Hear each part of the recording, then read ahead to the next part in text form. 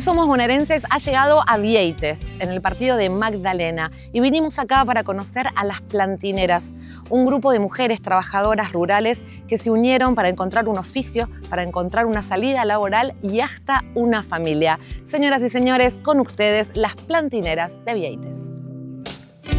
Buenas, Cecilia, encantada. Hola. ¿Cómo nació Plantineras? Nace en el 2018 junto con Gisela Patrocinio y un par de compañeras más que queríamos viajar a Chubut a un encuentro de mujeres. Nos pusimos a pensar a ver cómo podíamos recaudar plata para ir al viaje y allí se le ocurrió revender plantines.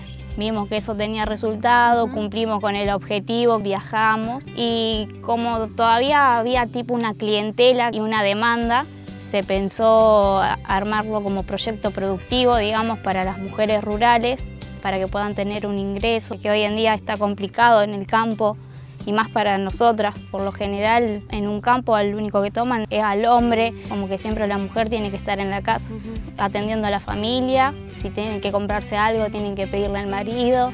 Buenas, permiso.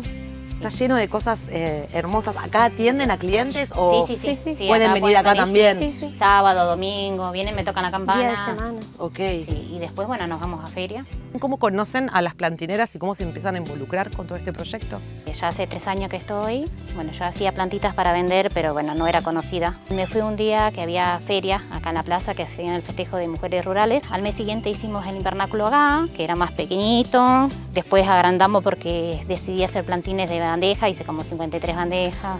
Y después se unió al otro año mi compañera Sara. Era clienta de ella, tengo mis dos hijas que estudian en el CEP y siempre me, me decía que participara.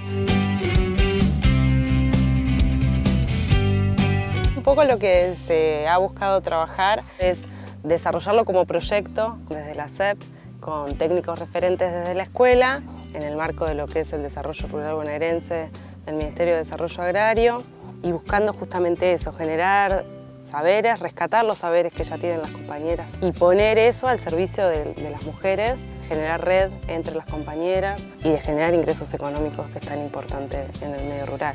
Dentro de esto, el marco de las mujeres rurales y de las distancias que cada una tenemos que recorrer, para ir a la escuela, para llevar al médico, para ir a pasear. También pensamos en aprender a manejar. Tuvimos el curso de manejo para que ellas puedan tener su propia movilidad. Desde la SEP tenemos una camioneta, se les presta a las chicas para que puedan manejarse más independientemente. Trabajé un tiempo con ella acá, bueno, después tuve mi carnet.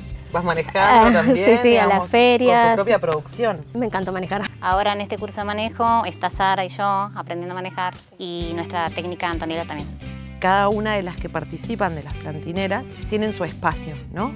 Este es el invernáculo de Miriam, acá está la producción de Miriam y tenemos también otro invernáculo en Los Sara, que también está enfocado en la producción de aromáticas, plantas madres y demás.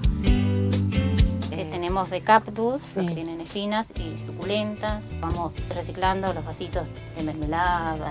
Ahí radica la sustentabilidad también de todo el proyecto. Y las latitas, todas las, latitas, también, hacemos agujeritos, las pintamos, hacemos nuestro propio abono, viste, que de la compost. Todo el tiempo reciclando. Sí, sí, sí. No, increíble. ¿Qué es Plantineras para ustedes? Y es una parte de nuestra vida ya. Uno se siente reacompañado. Nos damos una mano entre todas. Nos hicimos amigas, no solo somos compañeras de trabajo. Compartimos todo. No es solamente la planta, la feria o una jornada de trabajo. Ya somos familia.